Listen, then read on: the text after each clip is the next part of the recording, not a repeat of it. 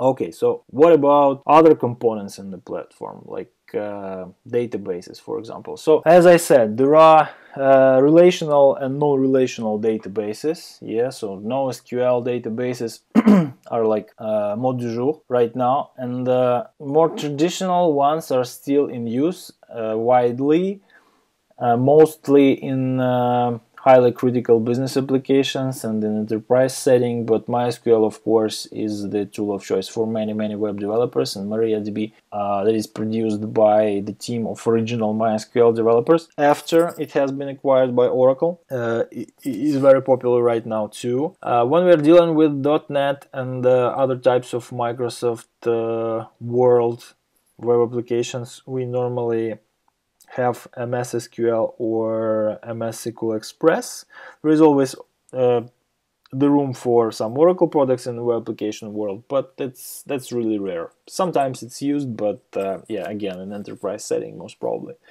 Uh, NoSQL databases, some examples can be just because those two are seen in the wild uh, more often than others. Okay, so MongoDB, of course, is uh, a type of NoSQL database that is using documents, yeah, in JSON format. There is a JSON uh, document for everything, and uh, everything is a component, is a, is a key or value in the JSON in the JSON document. Okay, uh, and there is a scheme that uh, lets you orient through all that database.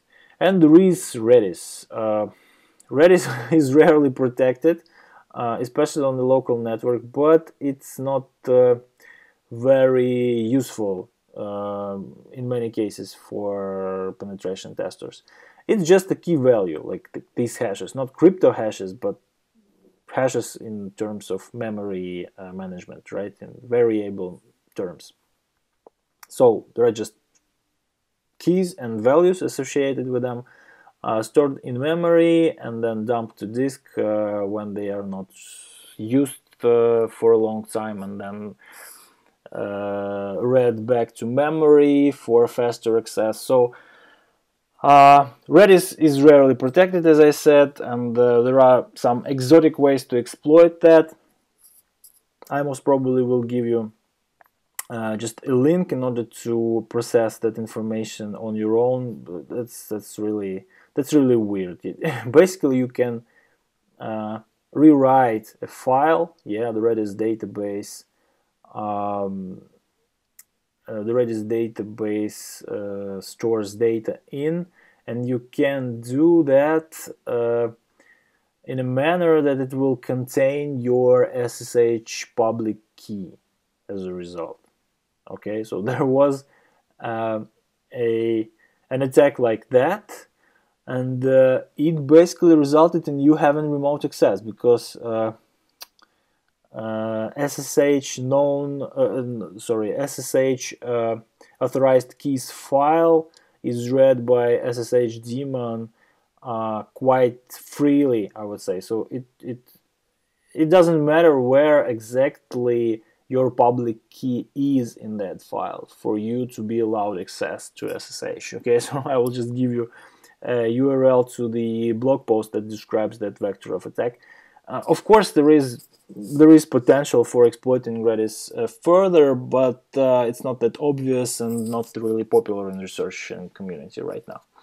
Uh, what about data exchange between different components? Of course, when we are dealing with um, a middleware or a front end connecting to SQL database or NoSQL database, uh, we most probably will just see that transport protocol uh, throwing queries and uh, returning responses uh, here and there, right? So that will be more or less uh, traditional. What's going on on the front end to, to the client side, uh, though, is that there normally it's just an HTML code, yeah, sent around just just in response to HTTP requests that is still uh, in use and that's more traditional and maybe demands less attention.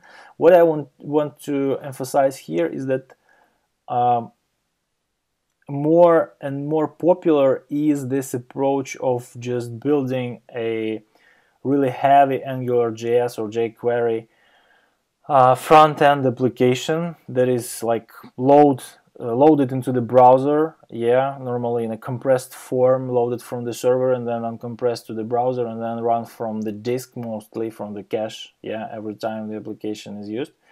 Uh, and everything else is this uh, client to web service communication. Yeah either in a SOAP format in form of XML documents uh, going here and there, or uh, RESTful API and JSON packets uh, that uh, accompany the uh, API calls. So uh, what you have to get from here, maybe that's already not the platform thing, yeah, for you, but let's focus on that for a while right here. Maybe that's already a web application part that I'm starting to describe because that's on a principal level, what you need to find on the platform layer is a vulnerability on the existing uh, product.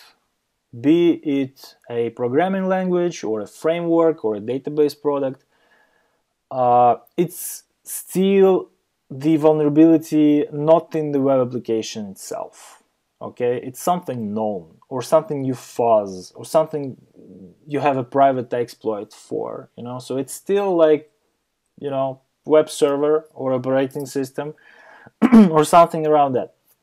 But data exchange is already like the choice of web application. It's not uh, like defined by the web application but uh, yeah the application is still like a user for that but uh, uh already effectively employs the input it receives in that form. And this is already an entry point into the web application. And entry point into the web application is uh, the attack entry point for us. Okay, so every time we see a JSON packet is sent, we see the values there. Okay, we see the uh, variable names and the values in JSON format. We can start fuzzing first values and then maybe even variable names if we know that they are processed once uh, received by the web application or web service. Okay, so uh, in XML as well, if uh, you see that uh, your input you provide to a web form, for example, is then sent to the web service in an XML form, you can assume that uh, you can start tampering with the input yeah in your proxy application like burp suite or OWASP ZAP, right away. So uh, yeah remember that still it's it's maybe still the platform level but already can be used as an avenue for a pure web application attack